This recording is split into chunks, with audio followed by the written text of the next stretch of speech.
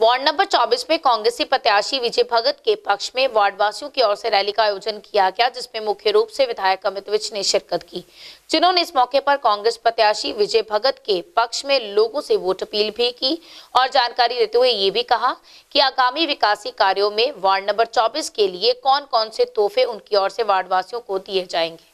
ਅੱਜ ਅਸੀਂ ward number 24 ਚ ਆਸ਼ੀਰਵਾਦ ਮੈਂ ਲੈਣ ਆਇਆ। ਆਪਣੇ ਵਾਸਤੇ ਕੈਪਟਨ ਮਹਿੰਦਰ ਸਿੰਘ ਜੀ ਵਾਸਤੇ, ਸੁਨੀਲ ਜਾਖੜ ਜੀ ਵਾਸਤੇ, ਪੂਰੀ ਕਾਂਗਰਸ ਵਾਸਤੇ ਤੇ ਵਿਜੇ ਜੀ ਵਾਸਤੇ। ਸਾਡੇ ਵਾਰਡ ਨੰਬਰ 24 ਦੇ ਕੈਂਡੀਡੇਟ ਵਿਜੇ ਕੁਮਾਰ ਜੀ ਨੇ ਤੇ ਮੈਂ ਸਾਰਿਆਂ ਨੂੰ, ਵਾਰਡ ਵਾਸੀਆਂ ਨੂੰ ਇਹੀ ਰਿਕੁਐਸਟ ਕਰਨ ਆਇਆ ਕਿ ਅੱਗੇ ਜੋ ਵੀ ਕਿਹਾ ਸਰਕਾਰ ਨੂੰ ਅਸੀਂ ਕੰਮ ਕਰਕੇ ਦਿੱਤਾ ਹੈ ਤੇ ਅੱਗੇ ਵੀ ਕਰਾਂਗੇ। ਅੱਜ ਇੱਥੇ ਕਮਿਊਨਿਟੀ ਹਾਲ ਦੀ ਮੇਨ ਰਿਕੁਆਇਰਮੈਂਟ ਸੀ। ਸ਼ਹਿਰ ਵਿੱਚ 4 ਕਰੋੜ ਦੀ ਲਾਗਤ ਨਾਲ ਅਸੀਂ 12 ਕਮਿਊਨਿਟੀ ਹਾਲ ਬਣਾ ਰਹੇ ਹਾਂ ਤੇ ਇਹ ਵੀ ਕਮਿਊਨਿਟੀ ਹਾਲ ਪਹਿਲੇ 25 ਲੱਖ ਦਾ ਬਜਟ ਸੀ, ਹੁਣ ਲੱਖ ਵਾਸੀਆਂ ਨੇ ਕਿਹਾ ਕਿ ਥੋੜਾ ਵੱਡਾ ਕਰਨਾ ਹੈ।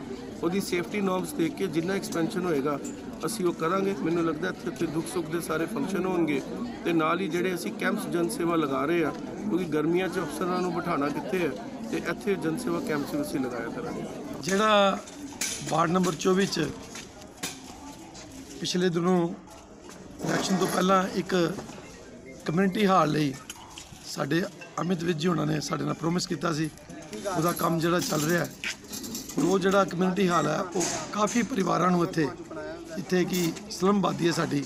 ਇੱਥੇ ਉਹਨਾਂ ਪਰਿਵਾਰਾਂ ਨੂੰ ਬਹੁਤ ਵੱਡੀਆਂ ਸਹੂਲਤਾਂ ਮਿਲਣ ਜਾ ਰਹੀਆਂ ਜਿਹਦੇ ਵਿੱਚ ਕਿਸੇ ਦਾ ਵਿਆਹ, ਸ਼ਾਦੀ ਹੈ, ਲੜਕੀ ਗਰੀਬ ਦੀ ਸ਼ਾਦੀ ਹੈ, ਤਾਂ ਉਹ ਇੱਥੇ ਆਪਣੀ ਯੂਟਿਲਾਈਜ਼ ਕਰ ਸਕਦਾ ਦੂਸਰਾ, ਇਹ ਜਿਹੜਾ ਕਮਿਊਨਿਟੀ ਹਾਲ ਹੈ, ਇਹਦੇ ਉੱਪਰ ਅਸੀਂ ਸੋਚ ਸੋਚਦੇ ਸੋਚਦੇ ਹਾਂ ਕਿ ਇੱਕ ਛੋਟਾ ਜਿਹਾ ਇੱਕ ਗਰਾਊਂਡ ਬਣਾਇਆ ਜਾਏ। ਜਿਹਦੇ ਨਾਲ ਜਿਹੜੇ ਇੱਥੇ ਦੇ ਬੱਚੇ ਨੇ, ਉਹ ਟੈਨਿਸ ਜਿਹੜਾ ਉੱਥੇ ਛੱਤ ਦੇ ਉੱਪਰ ਖੇਡ ਲੈਣ। ਤੀਸਰਾ, ਇੱਥੇ ਪਾਣੀ ਦੀ ਡਿਮਾਂਡ ਸੀ। ਇਹਦੇ ਲਈ ਸਪੈਸ਼ਲ ਅਸੀਂ ਕਮਿਊਨਿਟੀ ਹਾਲ ਦੇ ਅੰਦਰ ਹੀ ਇੱਕ ਪਾਣੀ ਦਾ ਬੋਰ ਕਰਵਾ ਦਿੱਤਾ, ਜਿਹੜਾ ਪਾਣੀ ਦਾ ਬੋਰ ਹੈ, ਬਿਲਕੁਲ ਤਿਆਰ ਹੈ।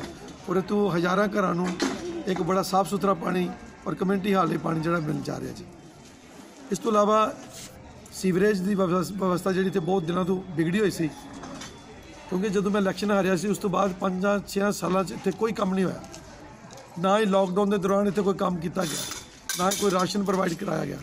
ਸੋ ਇਹ ਸਾਰੇ ਕੰਮ ਜਿਹੜਾ ਵਿਜ਼ਨ ਲੈ ਕੇ ਔਰ ਗਲੀਆਂ, ਨਾਲੀਆਂ ਔਰ ਆਪਣੇ ਜਿਹੜਾ ਸਰਕਾਰੀ ਹਾਈ ਸਕੂਲ ਹੈ, ਉਹਨੂੰ ਅਸੀਂ ਸਮਾਰਟ ਹਾਈ ਸਕੂਲ ਬਣਾਇਆ। ਇਹ ਜਿਹੜੇ ਸਾਰੇ ਕੰਮ ਨੇ, ਇਹ ਸਾਡੇ ਐਮਐਲਏ ਅਮਿਤ ਵਿਜ ਦੀ ਮਿਹਨਤ ਨਾਲ ਇਹ ਸਾਡੇ ਕੰਮ ਸੰਪੂਰਨ ਹੋ ਪਾਏ ਨੇ। ਸੋ ਮੈਂ ਆਪਣੇ ਵਾਰਡ ਵਾਸੀਆਂ ਨੂੰ ਇਹ ਕਹਿਣਾ ਚਾਹੁੰਦਾ ਕਿ ਜਿਹੜਾ ਮੇਰਾ ਇਲੈਕਸ਼ਨ ਲੜਨ ਦਾ ਵਿਜ਼ਨ ਹੈ, ਉਹ ਹੈ ਕੰਮ ਕਰਨਾ।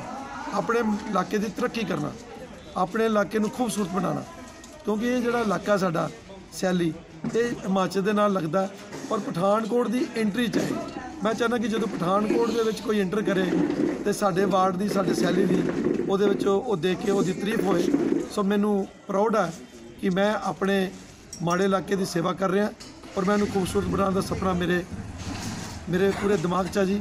ਉਹ ਮੈਂ ਕੰਮ ਪੂਰੇ ਇਲੈਕਸ਼ਨ ਜਿੱਤਣ ਤੋਂ ਬਾਅਦ ਪੂਰੇ ਦੇ ਪੂਰੇ ਕੰਮ ਜਿਹੜੇ ਇਹਨਾਂ ਨੂੰ ਕਰਕੇ ਦੱਸਾਂਗਾ ਇਸ ਲਈ ਮੈਂ ਵਚਨਬੱਧ ਹਾਂ ਸਰ ਤੁਸੀਂ ਕਿਹਾ ਕਿ ਐਮਐਲਏ ਬੁਲਾਇਆ ਹਿਮਾਚਲ ਦੇ।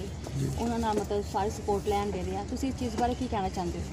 ਨਹੀਂ ਉਹਦੇ 'ਚ ਇਹ ਹੈ ਕਿ ਜਿਹੜਾ ਸਾਡਾ ਪੰਜਾਬ ਹੈ ਠੀਕ ਹੈ ਉਹ ਸਾਡਾ ਹਿਮਾਚਲ ਦਾ ਨਾਲ ਲੱਗਦੀ ਸਟੇਟ ਹੈ। ਉਹਨਾਂ ਦਾ ਆਪਣਾ ਕੰਮ ਕਰਨ ਦਾ ਤਰੀਕਾ ਸਾਡਾ ਆਪਣਾ ਕਰਨ ਦਾ ਤਰੀਕਾ ਕੰਮ ਕਰਨ ਦਾ ਤਰੀਕਾ। ਉਹ ਵਨ ਮੰਤਰੀ ਨੂੰ ਬੁਲਾ ਕੇ ਕਿਉਂਕਿ ਉਹ ਨਾਲ ਲੱਗਦਾ ਨਾਲ ਉੱਥੇ ਉਹਦਾ ਆਪਣਾ ਕਾਰੋਬਾਰ ਚੱਲਦਾ ਕ੍ਰੈਸ਼ਰਾਂ ਦਾ। ਮਾਈਨਿੰਗ ਦਾ। ਉਹਨਾਂ ਨਾਲ ਉਹਦੀ ਸਾਂਠ ਗਾਂਠ ਹੈ। ਇਸ ਕਰਕੇ ਉਹਨਾਂ ਨੇ ਉਹ ਮੰਤਰੀ ਉੱਥੇ ਜਿਹੜੇ ਮੈਂ ਮੈਂ ਇਹ ਕਹਿਣਾ ਚਾਹੁੰਦਾ ਕਿ ਜਾ ਕੇ ਦੇਖੋ ਜਿਹੜਾ ਉਧਰ ਹਿਮਾਚਲ ਦੇ ਵਿੱਚ ਹੈ। ਉੱਥੇ ਆਪ ਨਹੀਂ ਮੰਤਰੀ ਸਾਹਿਬ ਨੂੰ ਕੋਈ ਬਲਾਕ ਪਸੰਦ ਕਰ ਰਿਹਾ ਤੇ ਇੱਥੇ ਆ ਕੇ ਉਹਨੇ ਕੀ ਪਸੰਦ ਕਰਨਾ?